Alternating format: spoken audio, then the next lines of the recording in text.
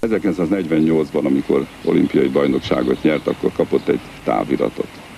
Igen, emlékszem, a döntő előtt álltunk, és akkor jött a távirat, hogy fiam született Pál.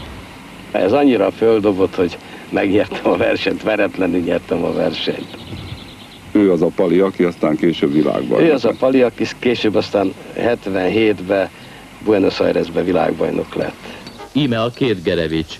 Jobbról nézve az apa Aladár és fia a Pál. Hát, ha összeszámolom az eredményeimet, így nagyjából csak az első helyeket, akkor van 7 olimpiai, 14 világbajnoki aranyérmem, és ezen kívül Magyarországon három fegyvernemben 33 magyar bajnoki aranyérmet nyertem.